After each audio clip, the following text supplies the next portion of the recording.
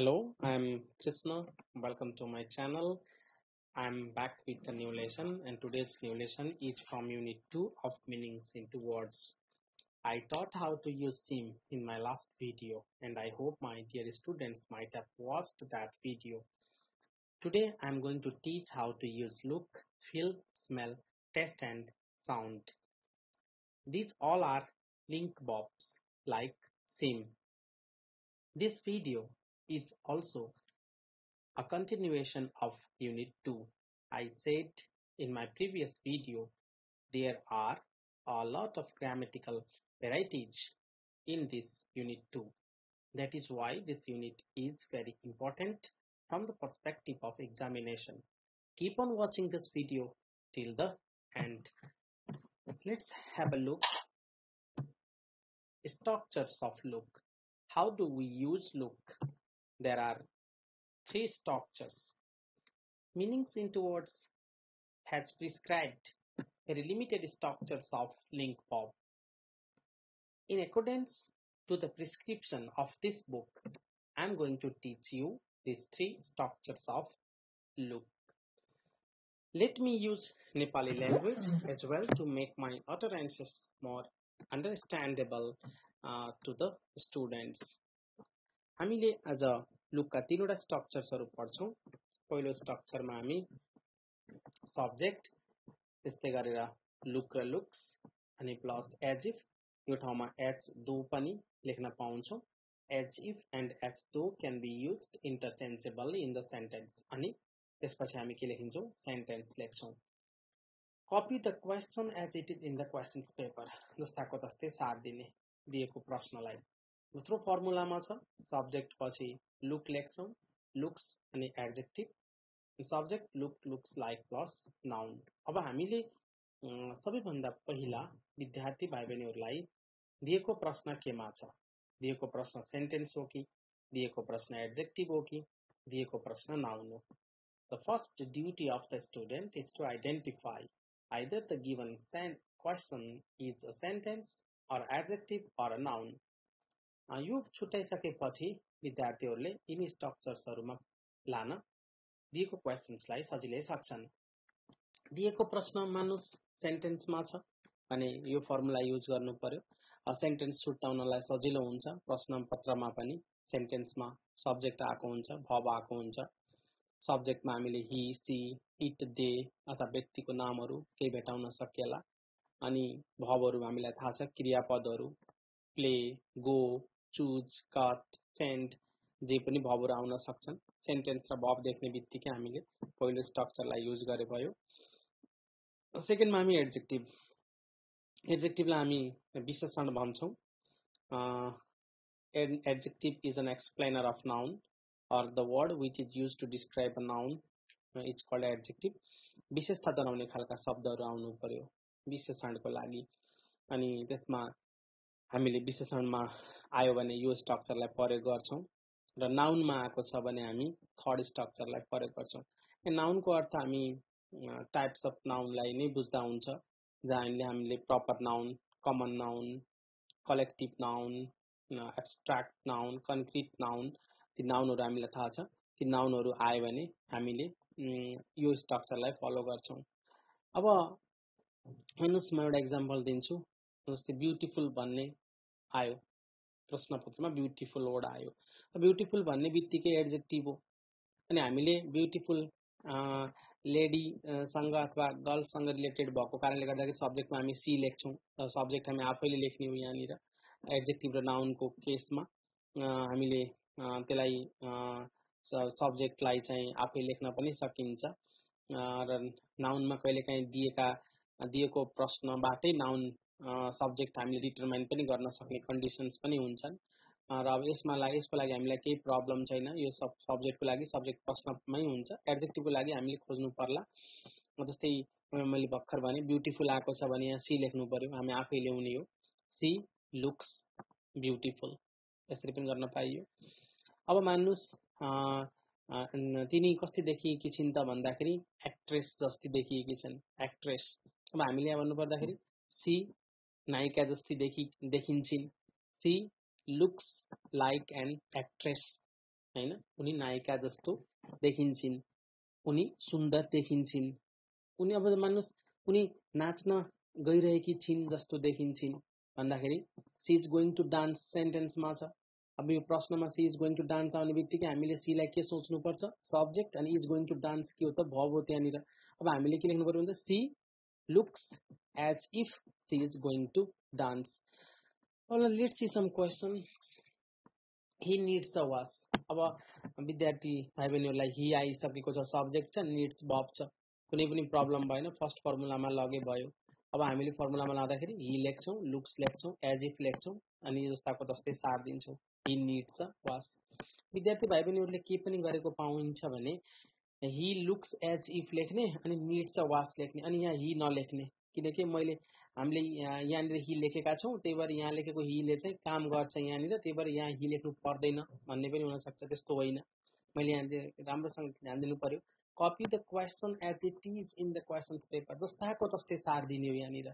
जे छ त्यही सार दिने हि निड्स अ वास जस्तै रेदर एग्रेसिभ आएको छ। अब एग्रेसिभ भन्ने बित्तिकै त एड्जेक्टिभ हो। होइन यहाँ इन्डिकेट गरेको छैन सब्जेक्ट यही लेख भनेर। हामीले यहाँनिर दे लेख्न पनि पायौँ हि लेख्न पनि पायौँ सी लेख्न पनि पायौँ। त त्यति हो कि हामीले हि र सी दे लेख्दाखेरि हो यहाँनिर ख्याल गर्नुपर्ने हुन्छ।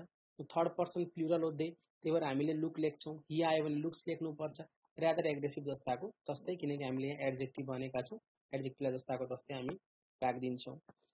अनि अ भनेको आवारा हो। अब योलाई चाहिँ हामीले सब्जेक्टमा आवारालाई हामीले हि लेख्यौँ। हि लुक्स लेख्यौँ नाउनमा ट्राम भनेको आवारा हो। त्यही भएर हामीले यो स्ट्रक्चरमा लैजान्छौँ। अब हि हामी आफै लिएर आएको लुक्स त्यहाँ फर्मुलामै हुन्छ। लाइकलाई पनि जान्नु पर्यो फर्मुलाकै हो। नाउनमा के छ त? अ ट्राम्प छ। भोलि बिहान अ टिचर आउला। He looks like a teacher लेख्नु पर्यो। हामीले हि लुक्स टिचर लेख्न पाइएन किनकि टिचर एडजेक्टिभ होइन। त्यही भएर त्यस कारणले गर्दाखेरि हामीले नाउनलाई नाउन भएको कारणले गर्दाखेरि यहाँनिर he looks like a teacher अब त्यो हाम्रो टिचर फेरि हामीलाई थाहा छ टिचर कमन नाउन हो होइन त्यस कारणले गर्दाखेरि हामी नाउन आएको कारणले गर्दाखेरि स्ट्रक्चरलाई फलो गऱ्यौँ यो प्रश्न इक्जामिनेसनमा यसरी आउने गर्छ he needs a wash rather aggressive a tramp beautiful an actress a teacher he is going to dance होइन? यसरी क्वेसन्सहरू आउने गर्छन्। र दिएको पाँचवटा क्वेसन्सहरूलाई हामीले कुन सेन्टेन्समा छ कुन एडजेक्टिभमा छ र कुन नाउनमा छ छुट्याउनु पर्छ। Let see additional information it is not prescribed by our book meaning in two words. Um, but to give uh, further information to the students about these uh, structures uh, I have brought two examples, two sentences. Let's see the sentences and what are the differences between these two sentences. Uh, he looks as if he is poor, perhaps he is, and he looks as though he were poor. Two sentences follow the same structure. He looks as if, he looks as though. We know that as if and as though can be used interchangeably. Uh, so, uh, uh what is the actual difference let's see. Uh, he looks as if he's poor as if after present tense is there. So perhaps he is means it is very close to uh, uh, reality okay? It is very close to reality. Here look at he looks as though he were poor but he is definitely not. Means this sentence is not very close to reality. This sentence is hypothetical sentence unreal sentence.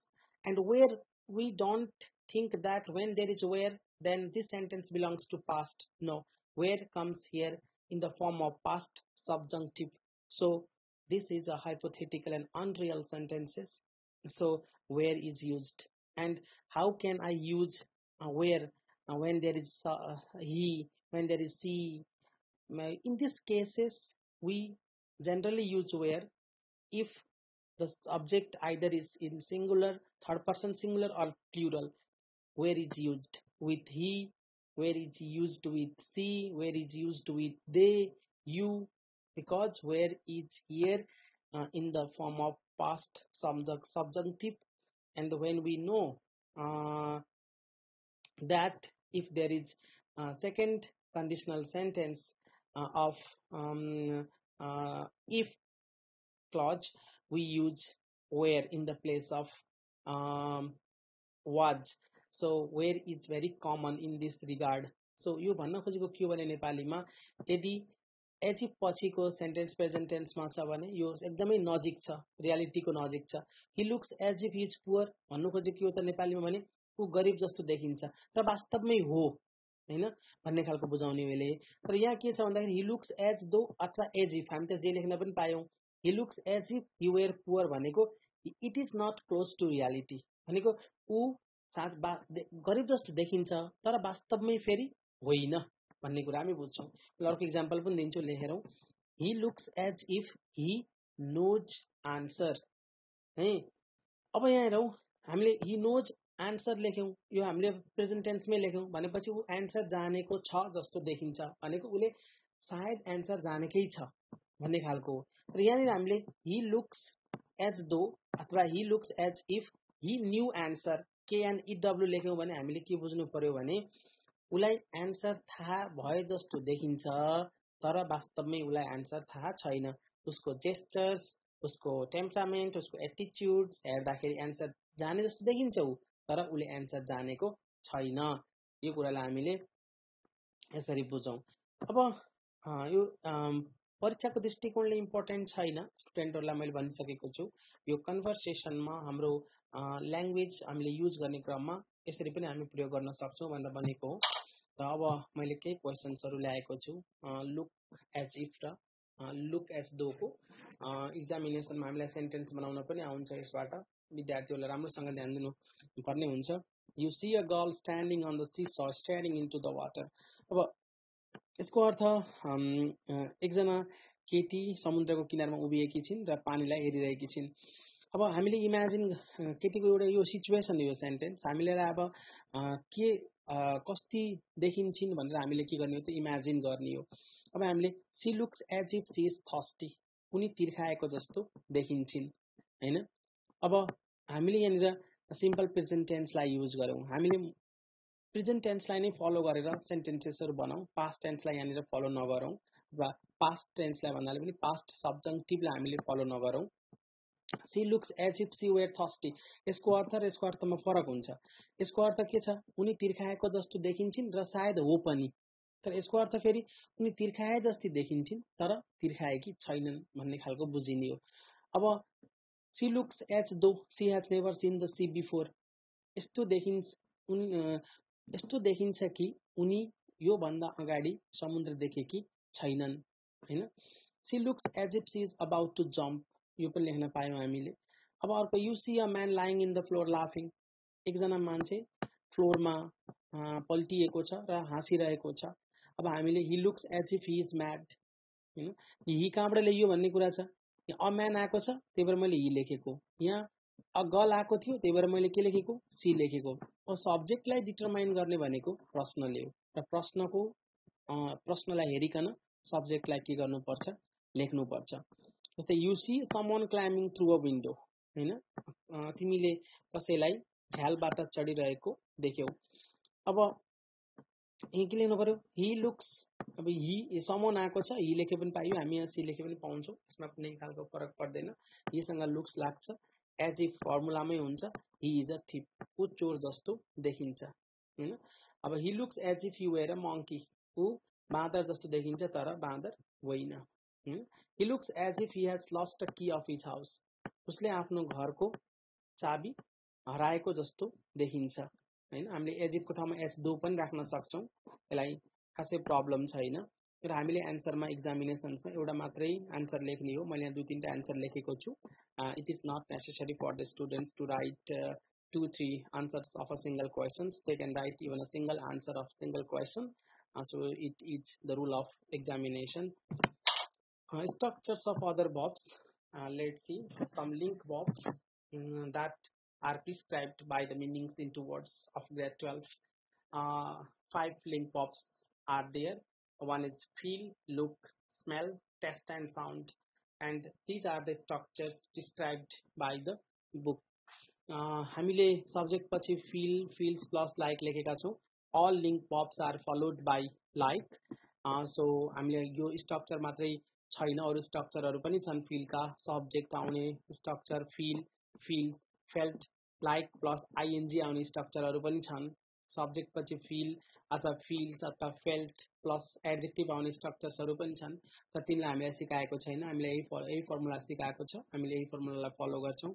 यदि हामीले अनुभवको आधारमा answer लेख्दाखेरि हामीले फिलको प्रयोग गर्छौँ अपिरियन्सलाई हेरेर होइन एन्सर लेख्नु पऱ्यो भने लुकको प्रयोग गर्छौँ स्मेल आएको अथवा सुगन्ध बास्नाको फर्मुला आएको छ भने हामी स्मेल को प्रयोग गर्छौँ। कुनै स्वादको कुरा आएको छ भने हामी टेस्टको कुरा गर्छौँ।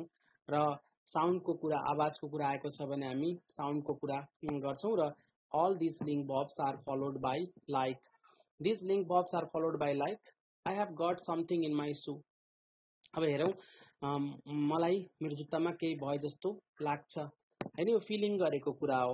अब यसलाई हामीले देखेको छैनौँ। त्यही भएर हामीले सब्जेक्टमा के लेख्यौँ त? It it feels like a stone to me होइन? अब हामीले यसलाई it feels like an insect to me लेख्न पनि हामी पाउँछौँ। र टु मी ए म्यान्डेटरी होइन यो कम्पलसरी होइन यो आफूले इच्छा लागे स्टुडेन्टहरू लेख्न पाउँछन् होइन भने पर्दैन। It feels like a stone is enough they have got similar faces उनीहरूको अनुहार उस्तै जस्तो दे उस्तै जस्तो छ देखिन्छ। होइन अब हामीले यहाँनिर दे लेख्यौँ। अनि दे हाम्रो सब्जेक्ट माथिपट्टि दिएछ तलपट्टि पनि दे लेख्यौँ। देसँग लुक लाग्छ लुक्स लाग्दैन त्यही भएर लुक लेख्यौँ। लाइक फर्मुलामा छ छुटाउनै भएन लाइकलाई। को जस्तो देखिन्छन् त? आमा र छोरी जस्तो देखिन्छन्। Mother and daughter. हामीले सन एन्ड फादर पनि लेख्न सक्छौँ। ट्विन्स लेख्न पनि पाउँछौँ। होइन? What is that your cooking के पकाइरहेका छौँ? स्मेलिङ आएको हुनसक्छ। स्मेलबाट यहाँनिर चाहिँ हामीले बनाउने हो। It smells like meat noodle rice pudding होइन? अब यहाँ इट स्मेल्स लाइक मिट यति मात्र लेखे पनि हुन्छ इक्जामिनेसन्समा इट स्मेल्स लाइक नुडल लेखे पनि हुन्छ। It smells like rice pudding लेखे पनि हुन्छ। तिनवटा मैले एउटा अप्सनको रूपमा दिएको हो। Are you sure this is tea अनि तिमीलाई लाग्छ यो साँच्चीकै चिया हो? अब चियालाई स्वादको आधारमा थाहा पाउने भएको कारणले गर्दा इट टेस्ट लाइक कफी अनि यहाँ इटसँग हामीले थाहा छ भिफाइभ भबको प्रयोग गरिन्छ। हामीले इट टेस्ट लेख्नु हुँदैन। इट टेस्ट मैले यहाँनिर इट फिल्स लेखेको छु। मलाई इट फिल लेखेको छैन किनकि इट चाहिँ थर्ड पर्सन सिङ्गुलर भएको कारणले गर्दाखेरि भी फाइभ लाग्छ फिल्स लाग्छ। यहाँनिर पनि इट छ स्मेल्स लाग्यो। यहाँ इट छ टेस्ट लाग्यो होइन? टेस्ट मात्र लेख्नु भएन एस लेख्नु पर्यो यहाँनिर। It taste like coffee juice and wine कोही कुनै विद्यार्थीहरूले जस्तै it taste like a coffee लेखेको पनि पाउँछौँ। अ कफी लेख्ने होइन। कफी हाम्रो अनकाउन्टेबल नआउनु त्यो र अ लेख्नु हुँदैन। It taste like coffee juice wine यस्तो एन्सर लेख्नु पर्यो। He has got foreign accent उसको साउन्ड प्रनाउन्सिएसन फरेनरको जस्तो छ अथवा विदेशीको जस्तो छ। त्यही भएर it sounds like Chinese it sounds like Japanese it sounds like Hindi हामीले यसरी साउन्ड्सको प्रयोग पनि हामी गर्न सक्छौँ। र यहाँ sound sound taste taste smell smells look looks feel feels हामीले यहाँनिर भिटुको प्रयोग गर्दैनौँ। किनकि हामीलाई बुकले नै भिटुको प्रयोग हामीलाई सिकाएको छैन। स्टुडेन्ट्स मन परे भिडियोलाई लाइक गर्नुहोला सब्सक्राइब गर्नुहोला। Thank you for watching this video